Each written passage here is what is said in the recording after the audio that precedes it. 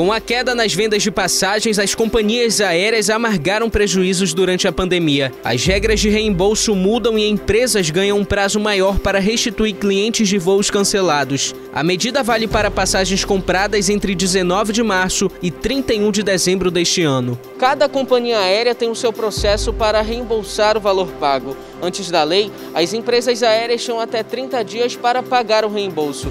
Desta vez, o consumidor vai precisar esperar. No entanto, a nova lei estabelece correção monetária do valor pago pelo cliente com base no Índice Nacional do Preço ao Consumidor. No caso de desistência de voos, são aplicados os mesmos prazos para reembolso das passagens. A diferença é que a empresa está autorizada a cobrar encargos previstos em contrato. E se o cliente optar em remarcar a passagem, não é cobrada nenhuma multa. As agências de viagens também sentiram o impacto da pandemia nas vendas de passagens aéreas. As restrições por causa da doença afastaram os clientes e as poucas operações são feitas de forma online. Gradualmente a gente vai, vai sentir aí uh, até o fim do ano uh, uh, os efeitos, mas eu acho que eles vão aos poucos saindo de cena e voltando ao, ao natural que a gente tanto deseja que as pessoas comprem e viajem, né? O titular da delegacia especializada em crimes contra o consumidor explica como proceder para ter os direitos garantidos.